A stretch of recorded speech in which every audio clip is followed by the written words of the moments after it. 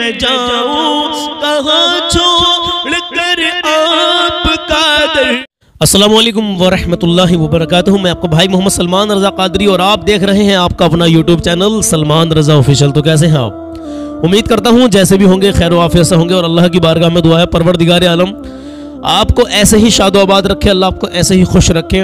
और मैं तो दुआ करता हूँ परवरदिगार की बारगाह में, जो भी परेशान हाल है पूरी दुनिया में मुसलमान भाई बहन, अल्लाह सबकी नेक जायज़ तमन्ना पूरी करे, अल्लाह हर परेशानी से महफूज फरमाए।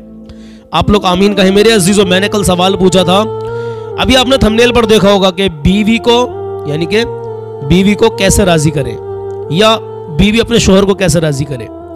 आजकल बहुत सारी खुराफातें चलती हैं, एकदम से ही मतलब तुरंत ही लड़ाई झगड़े हो जाते हैं, ज़रा सी बात पर नफसा नफसी हो जाती है। तो मैं उस चीज़ को लेकर के आया हूँ और एक आयत है, जो अलहमदिल्ला सुम्मा अलहमदिल्ला बड़ी कामयाब है, बड़ी मुफीद है। इनशाला उससे आपको कामयाबी मिलेगी। मैंने कल सवाल पूछा था दो आवाज़ें ऐसी कौन सी हैं जिन पर अल्लाह की लानत होती है? पहले मेरी बात सुने, ध्यान से यार देखिए, वीडियो को स्किप ना करें। आप पूरी बात सुनकर के जाएँ। मैंने सवाल भी पूछा था और जवाब भी मैंने आप, उसका दिया है। अब मैं बताऊँगा आपको। आज का जो सवाल है, वो भी बड़ा अहम सवाल है। क्योंकि इससे आपकी नॉलेज बढ़ेगी इनशाला तला। जिस भाई को कुछ मालूम नहीं होगा, जिस बहन को मालूम नहीं होगा, उनको भी मालूम हो जाता है कि हाँ इस्लाम में कितनी कितनी आसानी और कितनी मुश्किलें भी हैं।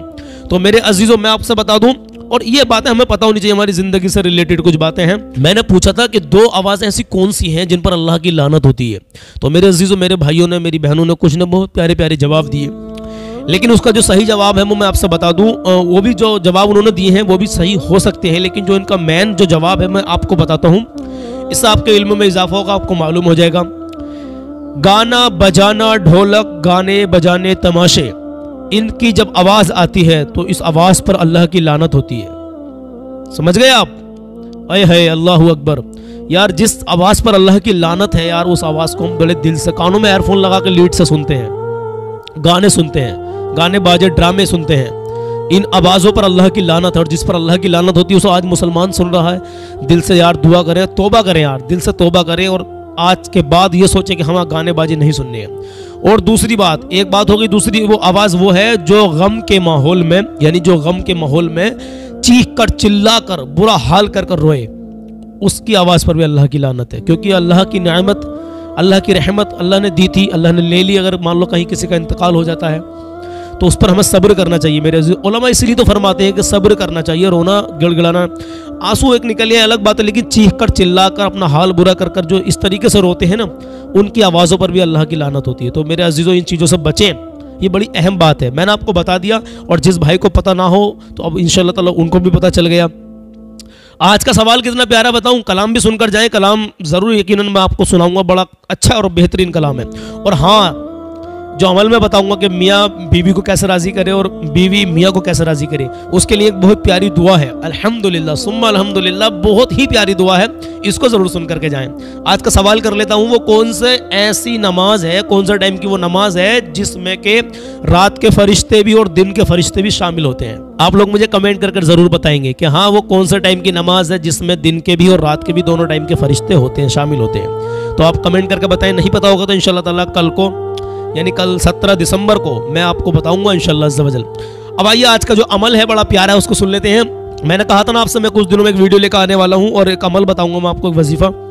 तो ये वजीफा मान लीजिए, ये अमल मान लीजिए, अमल है, ये एक ही बार इनशाला काम करेगा। मतलब एक ही बार में काम कर जाएगा। नहीं करे नहीं काम करे तो दोबारा करे, तीसरी बार करे, लेकिन ये ऐसा नहीं आपको रोज़ पढ़ना है, हर आठवें दिन पढ़ना है। ये तो एक ही मरतबा इसको कर लो इनशाला अल्लाह के रहमो करम से। बिल्कुल इंशाल्लाह कामयाबी मिलेगी। अमल क्या है, सुने। ये लिख रहा है, इसमें इस आयत को पढ़कर शिरिनी पर दम करें, जिसको खिलाएँगे इनशाला मोहब्बत पैदा होगी। अब हम ये अमल को मियाँ और बीवी के दरमियान लेकर चलते हैं, या अपने अम्मी को या अब्बा को राज़ी करना हो तो उनके लिए लेकर चलते हैं। अमल क्या है? एक आयत है, मैं स्क्रीन पर भी दे रहा हूँ, उसको देख लें। उसके बाद में कलाम ज़रूर सुन करके जाएँ, वीडियो स्किप ना करें। देखिए, कलाम बहुत प्यारा है, और अमल सुने। वो दुआ कौन सी है? जिसको के इसमें मैं आपको बताने के लिए जा रहा हूँ। दुआ ये स्क्रीन पर लिख रही है वह अल्फ़ैना बैन हमुल अदावतवल बगजा इला आप देख रहे हैं स्क्रीन पर। यही वो दुआ है जिसको शिरीनी पर अव्वल आखिर दरुशरी पढ़ लें तीन तीन बार, और एक बार इस दुआ को पढ़कर शिरनी पर, यानी किसी भी मीठे पर दम करके, फूक मार के, और अपनी जोजा को खिला दे या जोजा अपने शोहर को खिला दे इन उनके दिलों में मोहब्बत पैदा होगी। सिर्फ़ सच्चे और अच्छे अमल के लिए ही इसको इस्तेमाल करें और किसी गलत तरीके में इसको अमल को इस्तेमाल ना करें, वरना ये काम नहीं करेगा। यानी कि अच्छा और सच्चा अमल कौन सा? मियाँ बीबी का, माँ वालिदैन का, भाई बहन का, ये भाई भाई का, उस पर इसको काम करें इन ताला इसको आजमाएँ। इंशाल्लाह सौ परसेंट कामयाबी मिलेगी और नहीं मिले कामयाबी तो मुझे कमेंट करके बताना। इंशाल्लाह ज़रूर कामयाबी मिलेगी, लेकिन हाँ उसके साथ साथ बस आखिरी बात ये बता रहा हूँ इस अमल की कि कोई भी अमल करे, कोई भी वजीफ़ा करे, मेरे अजीज़ों, नमाज़ का होना बहुत ज़रूरी है। अगर आप बेनमाजी हैं तो आपका कोई भी वजीफ़ा, कोई अमल शायद अल्लाह की बारगाह में कबूल ना हो। क्योंकि नमाजी तो नमाजी होता है, मेरे अजीज़ों। आप नमाज़ की पाबंदी करें, तब कोई अमल करें इन सौ परसेंट कामयाबी आपको मिलेगी। तो ये अमल में लेकर आया, मेरे सामने आया तो मैंने आपको पेश कर दिया। तो इससे बहुत सारे भाई, बहुत सारी बहनें फ़ायदा उठाएँगे इन शजल तो इससे सवाब की नीयत से आगे भी शेयर करना इस वीडियो को आपको, ताकि पता नहीं किसकी आपस में घर में लड़ाई झगड़े होते हैं और नफसा नफसी होती है तो उनमें दिलों में आपस में मोहब्बत पैदा होगी तो उनकी ज़िंदगी खुशहाल गुजरेगी। तो इस सवाब की नीयत से आप इसको आगे शेयर भी कर दें वीडियो को। तो मेरे अजीज़ों, आज का जो कलाम है यकीन वो जन्नत का हकदार होगा। अय है कौन होगा? चलिए बताता हूँ कौन होगा। तो सुनिए, उससे पहले एक छोटी सी बात और शहाब भाई के ताल्लुक से कर लेता हूँ। जबकि आज मैं शहाब भाई के ताल्लुक से नहीं बोलना चाहता था लेकिन कुछ भाई नहीं भी आते हैं वीडियो में तो वो भी समझ जाएँगे कि हाँ यानी कि जो शाहब भाई का मसला चल रहा है, वो क्या है? दिसंबर के आखिर में वो उनका सफ़र शुरू होगा, इंशाल्लाह, ये उम्मीद है। अपडेट मिली थी और वो अभी पंजाब के अमृतसर ज़िले में है और खासा गाँव में एक आफिया किड्स स्कूल में रुके हुए हैं, ठीक है? सफ़र जब शुरू होगा, इंशाल्लाह तो उनके बारे में आपको बता देंगे। तो चलिए मेरे अज़ीज़, में आपको कलाम सुनाता हूँ। कलाम पूरा सुनकर के जाए। अगर कलाम आज का आपने पूरा ना सुना तो यार कुछ भी नहीं सुना। एक एक शेर ऐसा है एक एक शेर ऐसा है एक एक शेर ऐसा है कि ज़िंदगी में इनकलाब आ जाएगा, सुनेंगे तो। और आका की मोहब्बत में सुने, यकीनन आपके दिल में ऐसी अंगड़ाई आएगी कि आपका दिल खुश हो जाएगा, मदीना आपका दिल पहुँच जाएगा। तो मेरे जो कलाम शुरू करने से पहले आखिर में फिर एक बार बता देता हूँ, जो दुआ मैंने बताई है, पहले दरुज शरीफ पढ़ ले कोई सी भी, तीन बार, ठीक है? तीन बार दरुज शरीफ पढ़ ले कोई सी भी जो आपके दरुज शरीफ याद हो। फिर उसको एक बार ये दुआ पढ़नी जो स्क्रीन पर लिख रही है। दुआ ऐसे पढ़नी है व अल्फैना बैन हुमुल अदावत वल बगजा इला यौमिल क़ियामा। ये दुआ लिख रही है, हिंदी में लिख दी है, मैंने आपकी आसानी के लिए इसको पढ़ना है। पहले दरुज शरीफ तीन बार पढ़ लो, फिर एक बार इस दुआ को पढ़ लो, फिर तीन बार आखिर में दरुज शरीफ पढ़ लो। और शिरीनी पर दम करके किसी भी मीठे पर, मीठी चीज़ पर अपनी बीवी को खिलाएँ या बीवी अपने शोहर को खिलाएँ। इंशाल्लाह उनके दिलों में मोहब्बत पैदा होगी और उनकी ज़िंदगी खुशहाल गुजरेगी। नफसा नफसी जो होती है ना तो तू मैम जो होती है, वो घर में से ख़त्म हो जाएगी इंशाल्लाह। तो चलिए मेरे अज़ीज़ कलाम सुनाता हूँ। यकीनन वो जन्नत का हकदार होगा। कौन होगा बता दूँ? बता दूँ? जन्नत का हकदार कौन होगा? तो सुनिए। यकीनन वो जन्नत का हकदार होगा। यकीनन वो जन्नत का हकदार होगा। यकीनन वो जन्नत का हकदार होगा। यकीनन वो जन्नत का हकदार होगा। यकीनन वो जन्नत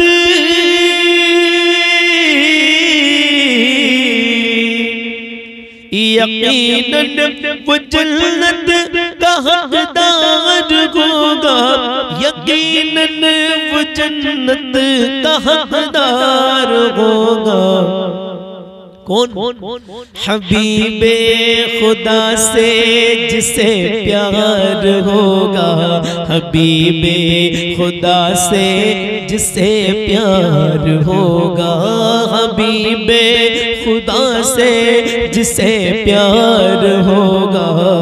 हबीबे खुदा से जिसे प्यार होगा।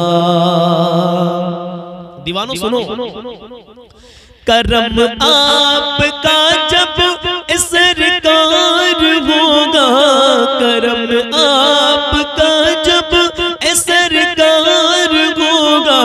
करम आपका जब सरकार होगा। अभी दिल का सहरा तभी दिल का सहरा ये गुलजार होगा। तभी दिल का सहरा ये गुलजार होगा। यकीनन वो जन्नत का हकदार होगा। हबीबे खुदा से जिसे प्यार होगा। और, और खुशी से छलक जा।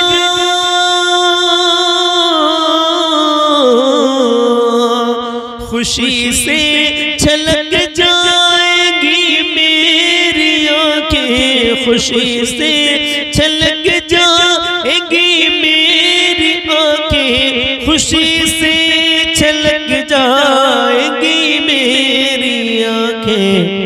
मदीने मदीने मदीने का जब मुझको दीदार होगा, मदीने का जब मुझको दीदार होगा, मदीने का जब मुझको दीदार होगा, मदीने का जब मुझको दीदार होगा, यकीनन वो जन्नत का हकदार होगा। जिसे मुस्तफ़ा से बहुत प्यार होगा, जिसे मुस्तफ़ा से बहुत प्यार होगा। दीवानो, सुनो। मैं जाऊँ कहाँ छोड़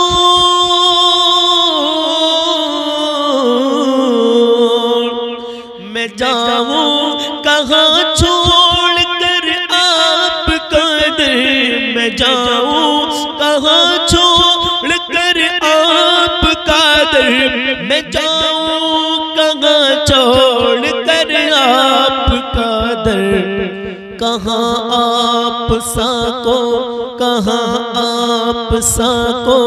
ये गम खार होगा, कहाँ आप साको? ये गम खार होगा, कहाँ आप साको? ये गम खार होगा आप साको ये गम खार होगा कहाँ? आप साको गम फार होगा कहाँ? आप साको गम फार होगा? यकीनन वो जन्नत का हकदार होगा जिसे मुस्तफ़ा से बहुत प्यार होगा। और सुने। सुने उधर ही नज़र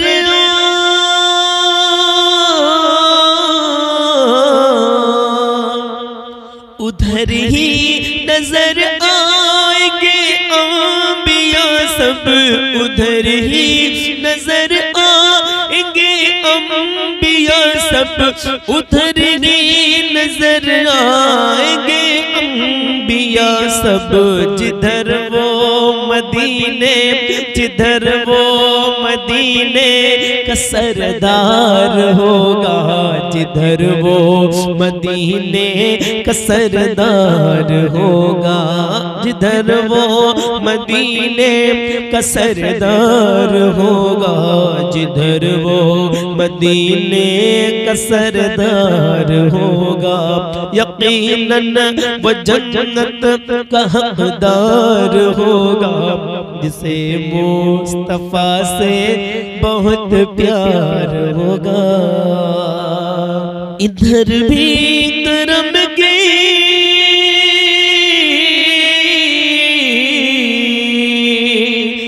इधर भी करम के नज़र मेरे आका, इधर भी करम के नज़र मेरे आका, इधर भी करम की नज़र मेरे आका। परेशान कब तक ये बीमार होगा, परेशान कब तक ये बीमार होगा, परेशान कब तक ये बीमार होगा। इधर भी करम की नज़र मेरे आका, परेशान कब तक ये बीमार होगा, परेशान कब तक ये बीमार होगा। यकीनन वो जन्नत का हकदार होगा, जिसे मुस्तफ़ा से बहुत प्यार होगा। हबीबे खुदा से जिसे प्यार होगा। दीवानो, आखिरी शेर लगी है निगाहें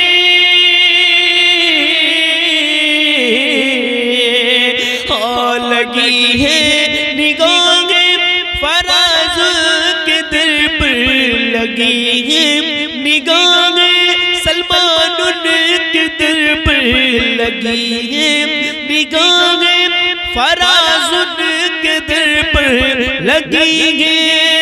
निगाहें फराज के दर पर किसी दिन तो बेड़ा, किसी दिन तो बेड़ा मेरा पार होगा।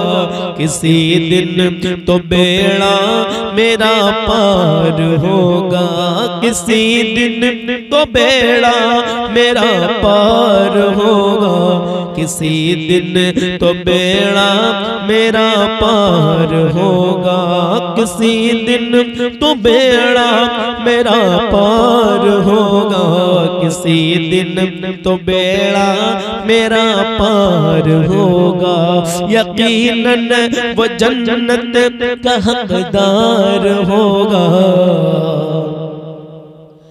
मेरे मुस्तफ़ा से जिसे प्यार होगा।